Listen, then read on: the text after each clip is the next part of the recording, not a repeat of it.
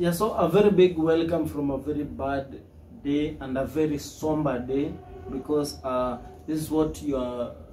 This is not what you are used to from Matunda TV.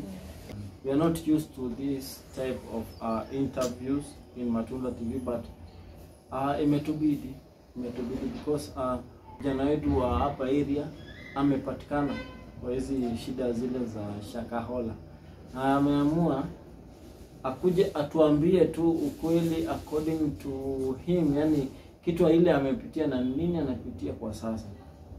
So mimi I will not pretend to know what he is feeling. So mimi sitaendelea kusema mambo mingi. Mimi nataka tu leo nimpatie tu opportunity ye mwenyewe aongee na aseme what is feeling, na mimi ndauliza tu zile swali I think uh, zitam zitamkweza uh, kwa roho yake. So bro, please anza tu na kutuambia jina yako tafadhali. Naam. Na pole pole tu kitu unapitia. Okay, mimi naitwa Kevo. Eh, mimi ni mkazi hapo mmoja tu. Yes. Okay, so wewe ni mkazi wa umoja tu. Mm. So sita pretend kujua nini ana feel, lakini acha tu nimwachie express to himself aseme. Yeah, uh, so unaitwaje? Okay, mimi naitwa Kevo. Ah, mimi ni mkazi hapa Umoja tu na mi najulikana kama sniper area. Mhm. Mm. Na nafurahi mmekuja kutembelea Matunda TV kujua maisha yangu. Mhm. Eh, nafurahi karibuni sana hapa nyumbani kwangu. Na naona mdogo ametembelea ni Diamond, ni nani huyu kwao? Ah, huyu msichana wangu mkubwa Eh, na unajua kama siku nyumbani afurahiangi. So venye umefika hapa leo ni siku yake, anafurahia kuona dadi yako nyumbani. mm -hmm. Eh, anafurahia maisha leo. Mm. Ama hiyo okay? Okay. So, uh, so unaweza tuambia ni nini hii mambo ya Shakahola imekuhusu aje ama imekukusa kivipi? Sema. Mambo ya Shakahola imeni affect mm -hmm. mimi na mtoto wangu na mama yake. Mm. Eh, juu mimi nilitoka huko Unguja, nilikuja huku Nairobi. Huko nilikuwa nachoma makaa. Sasa ndugu yangu aliniita huko, aliniita huko Nairobi, nikuja nikae na yeye. Kisha miezi sita, miezi tatu hapo akaniambia pata kazi Mombasa. lakini alifanya vizuri. Mtoto wangu alimuingiza kwa akademi nyingine huko Umoja. Mtoto hata- ajui Kiswahili, ajui Kizungu, Mm. ajui Kiswahili ama hiyo hiyo hiyo ingine. anajua tu English na hiyo ingine. Mm. So eh, so wenye tulikaribisha huku na mtoto wangu na mama yake Mm. tulifurahia maisha kidogo. Ndugu yangu- ndugu akatuambia Mm. ameenda Mombasa, So hapa tuseme ah, hapa ni kwa nani hapa ni mko mlikaribishwa hapa ni kwako ama ni hapa ni kwa ndugu yangu mkubwa kwa ndugu yako mkubwa? Ochie. Ochieng. So wewe ulikuja tu Na mtoto wako na na, na Eh, nilikuja hapa na mama yake, lakini kwa bahati nzuri mama yake alipata kazi huko, Mm. anafanya huko town huko CBD huko. Mm. Mm. anafanya kazi gani kama mama yake ako well off kidogo ama ama mama yake ako Eh, kazi mama yake amefanya iko si well off, ni kidogo tu, lakini tunaweza survive nayo. Mm. Juu hata tuko hapa next month Mm. tu Mungu atubariki tutafute nyumba yetu. Mm. Ndio hata mimi nilipata kamji mwingine hapa kidogo, lakini ndugu yetu alituambia tusitoke hapa, tungoje kidogo. Mm. Eh, Okay, so uh, mimi nataka uniambie uniambie kwa unielezee tu kwa utaratibu, tuseme ni nini kilikumba ndugu yako mkubwa na ilianzia wapi? Ah, my big brother, he was here. He was very supportive, very understanding. The guy used to support us a lot in terms of family issues. Alikuwa atumia madhe madhe, alikuwa apata karibu 15 to 20,000 kila mwezi. Mm. So venye alipata kazi Mombasa, mm. atomea atupata kazi na port huko. mm -hmm. So mwezi ya kwanza ikapita, mwezi wa pili ikapita, so landlord akakuwa anapita hapa anatupigia mlango, mm. anatuuliza mm. eh, mbona Mwezi ngapi? mwezi mbili karibu tatu hivi, Mm. mbona mjalipa nyumba? So mimi nilienda kwa harakati zangu za mjengo, nikamwambia bro, nitang'ang'ana, acha nitafute. Kumpigia simu kwa harakati ya kutafuta simpati, mwezi ya kwanza, mwezi ya pili, ya tatu simpati. So nikaambia wife kenye nafanyika, mimi na the beautiful girl of mine Mm. Eh, unajua mtoto wangu anapenda sana, sipendi kuona akiteseka. Nikaamua ah, tutoke kwa hii nyumba. Mm. So ndio hapa juzi juzi tukuona some breaking news hapa in TV Citizen. Ilichangaza sana. Na sasa ndugu yako hakuwa na mke Alikuwa na mke wakakosana kwa kwa kwa maadili Mm. ya kupotoshwa na mambo ya kidini. Shemeji yangu shemeji wangu alienda na watoto watatu. Mm. Mm. Wakati walienda kwa Mombasa, shemeji alikuwa anakuja baadaye alikuja kutuambia tumeenda. Ndugu yenyu ameingia kwa ah, inaitwaje? Kwa kanisa ambayo ya upotovu inapotosha watu. Sasa wewe ulijua ilikuwa ni kanisa ya kupotoshana ama Sikujua wakati niliona hapa kwa nini? Niliona hapa kwa interview ndio nilikuja nikajua. So after kupat, tukashindwa tuende wapi na mke wangu.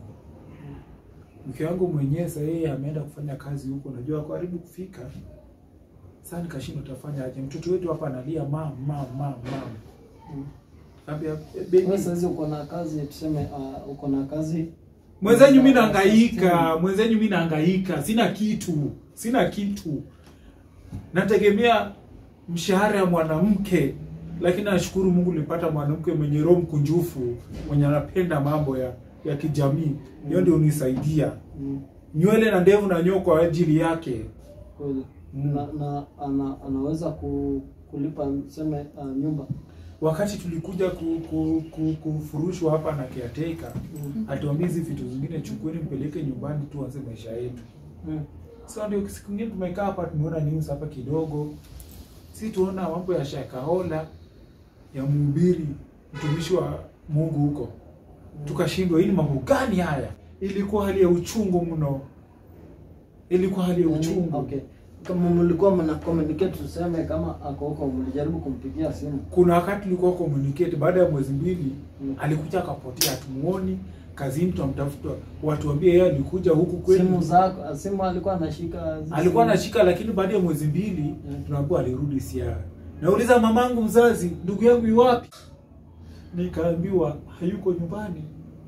Hayuko nyumbani Wale watoto wake nani atawasaidia? Hata kama ni utafanya aje ndugu yangu? Yeah, hiyo ni kitu ya kusikitisha sana na, na sasa tuseme mko na usaidizi gani kama hapa Nairobi na hii nyumba mmepanga aje sasa mta mtaamua kwa Sisi tushaamua kwa mahala ndugu yetu alikuwa afanya kwa sekta fulani ya serikali, tushashindwa. Kitu tutafanya ya maana ni kutoa hizi vitu tupeleke nyumbani, si tutafuta nyumba yetu kadogo tukae. Lakini kitu inaniuma sana ndugu Yes. Yangu, Mm. huu mtoto huu mtoto ashazoea maisha ya kizungu, nitapelekaje geto? Hata kama utafanya aje? Mama aumia huko, mi nitafanyaje? Mi mwenzenyu Ni saa Mungu yuko, mambo yatafunguka. But kitu najua ndugu yangu wako kwa hiyo chama wekelewa.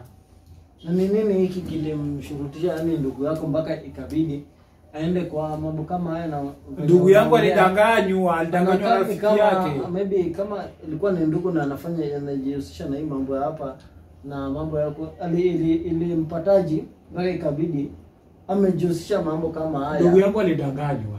alidanganywa na rafiki. Hmm. Unajua kwa hii dunia tuko na wale ma, ma, maaskofu wana kizungu nasema brainwashers. Mhm. Unajua mimi sijui Kiswahili sana. Tunasema we, we call them brainwashers. Whereby they can lie to you, you even sell your land for 7 million, Mm. 10 million. You sell your uh, all of your family property, then you end up washing with them, which is not supposed to happen. And the government should not should support should stand up with it. Mm. This thing is really, really affecting us. okay kama we naye unaumia hapa Angalia mtoto wangu mwenye aongea. Huyu mtoto hata sijambaia maziwa leo. Mama, umekunywa maziwa? Hakuna.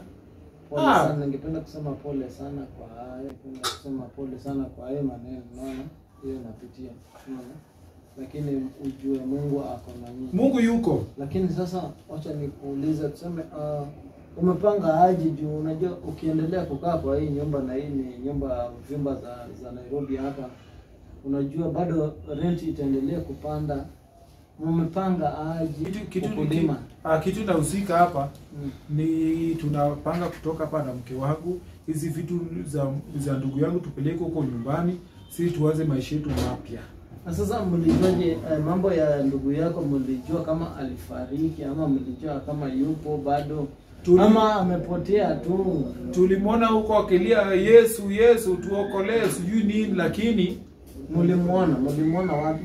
tuliona ndu rafiki yake alikuwa analia lia lakini according to the sources that we've had on the ground Mm. huo mtu hayuko tena Hayuko na mke wake ameconfirm ndugu yetu hayuko tena Mm. sasa mimi kama kijana mdogo lazima nishughulikie familia niweke pamoja Mm. Tuseme siku ya mwisho uliweza kuongea na yeye, alikupa ujumbe gani ama maybe aliniambia yeye ame- ni kama aliniambia aliniambia yeye amejiunga na kanisa fulani ya Yesu. Na wanaambua wafungwa wasikule waendelee kuomba. Na Isaya na kwa nini li- lilipingana na ndugu yangu? Isaya 58 nasema aje? Ili tuende kwa Mungu Baba lazima tupitie kwa nani? Kwa Yesu. So hapa hakuna kitu so mimi pale najua ndugu yangu hayumo tena So umeshakata kauli. nishakata kauli na yumo Mm. you know we are african human being there's some perspective Mm. that we are not supposed to rely on there are some things that we have to talk the truth if a hun- 90 people almost 100 have died are you expecting to tu, maybe hapa. hakuna wakati rafiki yake wa karibu mwenye walikuwa naishi naye alipoteza maisha nikajua kuisha sisi kama family tushaenda Mombasa tuenda kutafuta mwili. E, hata wazazi wako huko marafiki. Mi mwenyewe nitaenda napanda na, napanga ku Tuseme tukijaribu kupatia uwezo tuseme. Mm. utafute ile transportation ufike, uh, ujaribu kuona kama maybe yuko mahali unaweza chukua hiyo uh, Eh, naweza enda Mimi mi nitaenda mimi nitaenda Mm. hata naweza enda kuanzia Tuesday hapo juu kesho niko shughuli fulani lakini kuanzia Tuesday lakini mi kwa hakika najua ndugu yangu hayuko mimi kitu naweza kuambia tu usikufe moyo. Ah, mimi cha moyo. ah, ah, usikufe moyo. Wacha tufanye tu hivi. Mm. Tutajaribu kama hii wiki venye ianzavyo hivi hii wiki tukiona by the way uh, kwa siku ya kwanza ya pili I think uh, by Wednesday tuko na watu kadhaa pia tumekuwa naona tunataka tufunge safari ya kwenda Mm. pia wanataka kwenda kutafuta wenzao wale kama wako hai ama so sitaki ukufe moyo Nashukuru, nashukuru. tutashughulikia hiyo mambo na logistics na hiyo maneno mfike at least muone kama mtaweza kuwapata so ujipe moyo tu kidogo Nashukuru. uh, Nashukuru. so wacha tu tufunge hisho unaona lakini mimi nasema kama matunda tv tutampatia uh, uh, tutamsaidia tuwezavyo tufike huko pia pamoja na tuone kama ataweza kupatana na mtu kama, pia kama hatawezana tutaangalia mambo tu venye hata wakipata mili yao ama nini tutaona venye tutajaribu kusaidia.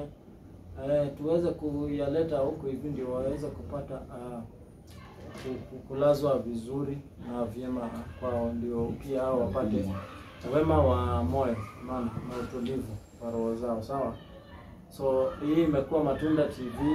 Mimi ni Lewis Momanyi Jerry Matunda ya na please, uh, wacha tu tuonane kwa video nyingine ile tutaweza. So poleni sana na wacha tu tufunge kwa sasa.